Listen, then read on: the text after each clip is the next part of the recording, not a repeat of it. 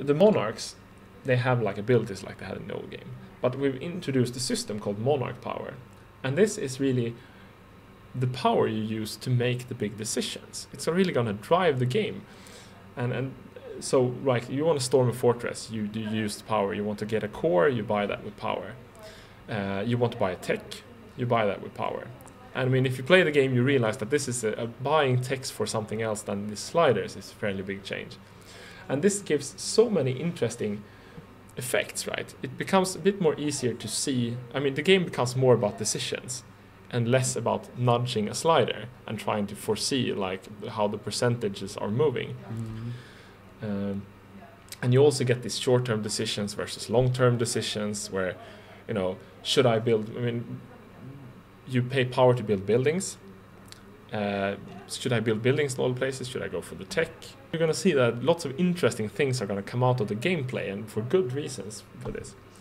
It gives an interesting ebb and flow to the game, right? We want to get away from this this you know you, you go up you you have say you're a military country right you build more troops build more troops and all of a sudden you can win all the wars and, and you can just stop playing right instead you have like a great military leader like i don't know uh, gustavus adolphus for example right? Uh, and he would go he would do military reforms. He would you know get more military tech. He would outmaneuver his enemies with his skill. But then he dies and in comes another monarch who happens to have a good administrative ability but not very good military power. So what happens then is that you geared your country, you used your country's strength to conquer people on the battlefield, and you will still keep the armies and the reforms and all these kind of things.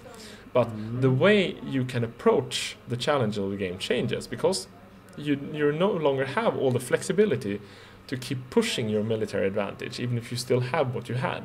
Mm-hmm. Instead, you have to use your administrative advantage to sort of improve governance, ideas, and these kind of things, right?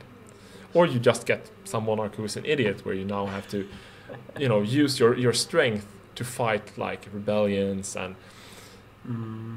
and and struggle for a bit. So you should never really reach this plateau where you know that you know, for the rest of the game, I will keep clicking this button until I win. We, you should not have that.